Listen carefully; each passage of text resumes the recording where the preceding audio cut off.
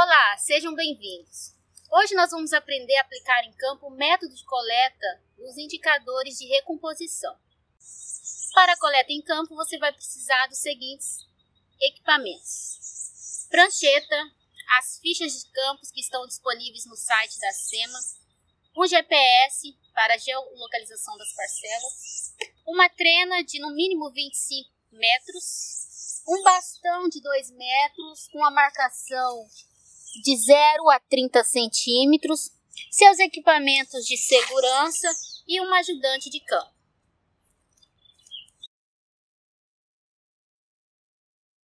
Para iniciar os trabalhos em campos, primeiro você deve demarcar a sua parcela.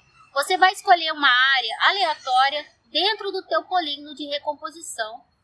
Você vai esticar uma trena a 25 metros e a sua parcela vai abranger uma área de 25 metros de comprimento por 2 metros de largura. Então, para ter essa área, você pode usar a trena como o centro da tua parcela, definindo um metro para a direita e um metro para a esquerda. Você terá uma parcela de 25 por 2 metros, cobrindo uma área de 50 metros quadrados. A quantidade de parcelas será de acordo com o que orienta o manual disponível no site da SEM. Agora vamos aprender como utilizar o método de interceptação de linhas para a coleta de dados do indicador de cobertura em áreas de cerrado. Primeiramente, você deve retirar um ponto inicial da localização da tua coleta.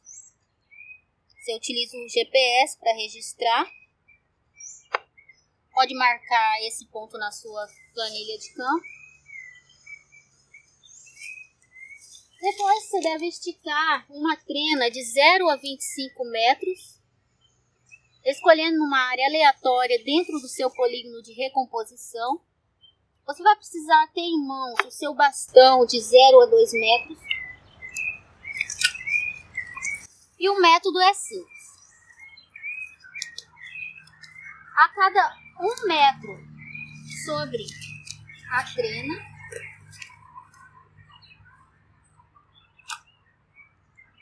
Você vai colocar o bastão e o que tocar no bastão de 0 a 2 metros, você vai anotar na sua ficha de campo. Nesse caso, podemos ver que tocou capim nativo e uma espécie lenhosa. Então você vai anotar lá na sua ficha de campo capim nativo e espécie lenhosa. Você vai andar mais um metro e novamente registrar o que tocou no seu bastão, de 0 a 2 metros.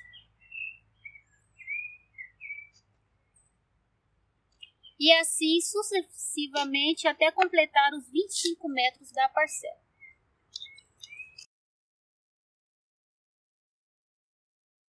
Coleta de dados de cobertura em áreas de floresta. A metodologia é um pouco diferente da coleta de área encerrada. Você vai coletar a cada um metro todos os indivíduos, anotar na planilha de campo todos os indivíduos que estiverem acima do bastão de 2 metros.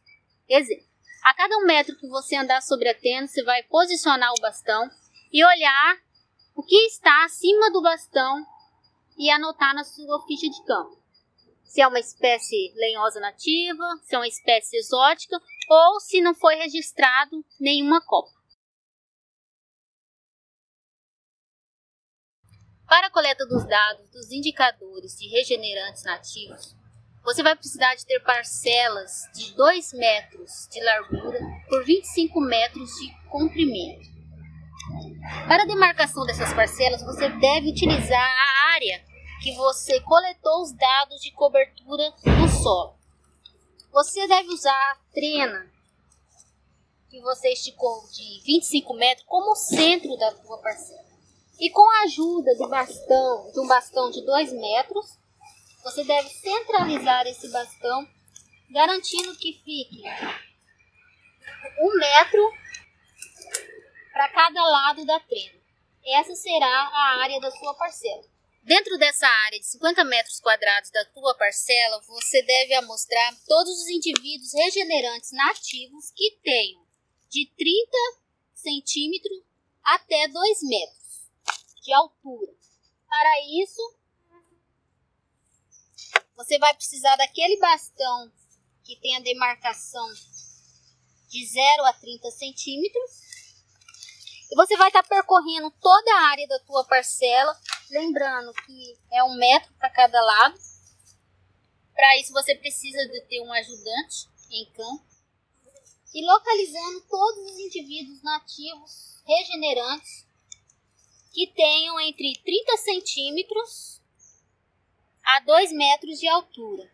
Você pode estar anotando esses regenerantes na ficha de campo pela espécie, caso reconheça, ou pelo morfotipo. Para coletar os dados de riqueza, deve-se fazer uma varredura desses indivíduos em toda a área da tua parcela.